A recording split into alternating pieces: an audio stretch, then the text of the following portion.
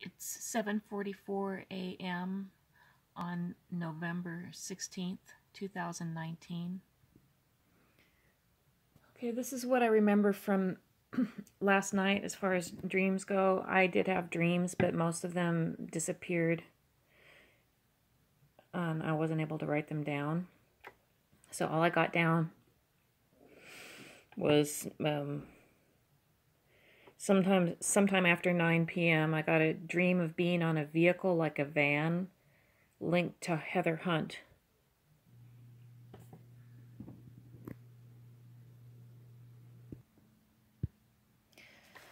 Okay, and after that, uh, shortly after that, idea of hospital and my dad's family. Um, every time my almost every time my dad's family members come up in these dreams linked with hospitals, the dreams get erased, and all I'm just left with is something like this. However, I do feel like I've gotten a sense of something from other sources. Um, anyway, uh, well, I'm not going to get into that now. Then, let's see. Image of um, I just read 1116, so it must be after midnight. Image of me riding in an ambulance, and then these letters R O S.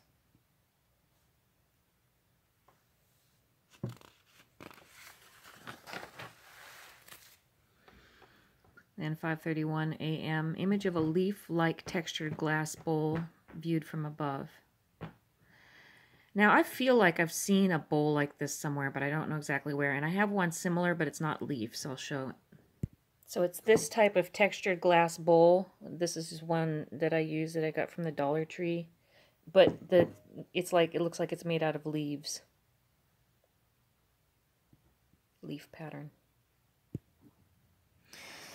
Okay, now this okay, this one here and then this one here in particular, this one's very interesting. It I was not fully asleep. I was, you know, half asleep. And so what happened was I got an image of me holding a cat in a similar manner to how the little red-haired girl holds the cat in the Charlie Brown comic. So she kind of has this cat dangling from her arm a lot of the time. And as soon as that image came to me simultaneously in real life, Chris, who's lying next to me, lets go this weird long exhale and he's making this noise like air is being squeezed out of him. It was really weird. And so it it seemed to go along with the image because the way she's holding that cat, it could be the cat could have a hard time breathing because it's just dangled over her arm. And um, this is not the first time I've seen Chris's breathing be affected in ways that either go along with my dreams or else they go along with me. Like all of a sudden, I will have some sort of breathing effect, and he has the same kind along with it. But this time, it was paired with that image.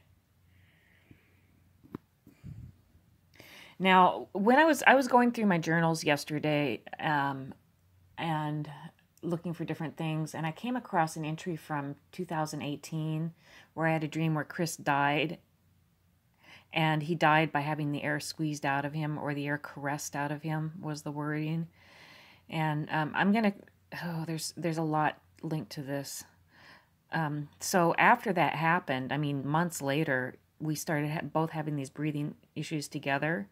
Um, and i've been experiencing attacks to my heart going back to i've recorded them back to 2017 they usually are paired with my back pain to let me know, I think, as a whistleblowing technique that this it is implant related. It's from the same source as my back pain. But in Chris's case, it, it got worse and worse and it ended up as heart failure. Now, I just found something else about this. So I'm uploading some of my photographic evidence of of different types of either, you know, implants that show underneath my skin or um, different types of you know, skin conditions caused by directed energy attacks. And I saw I had this. Looks like I wrote it on March 25th, 2018.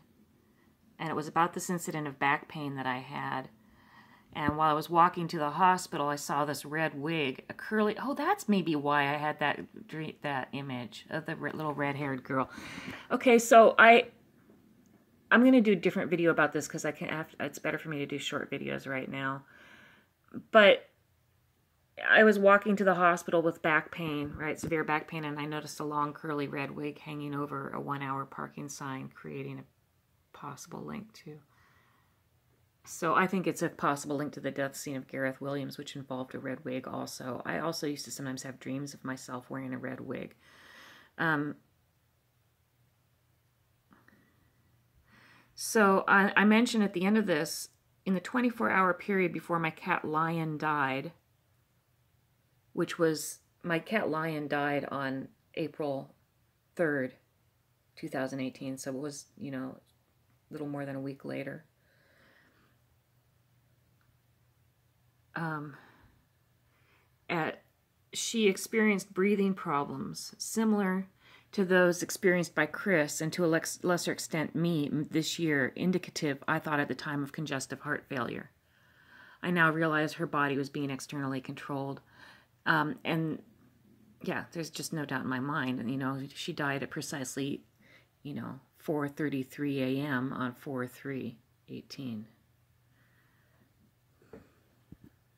And she, it looked like, it looked like when you saw in Star Wars Darth Vader remotely strangling somebody, that's what she looked like right before she died. She looked incredibly distressed and like she was just, she looked like she was being killed.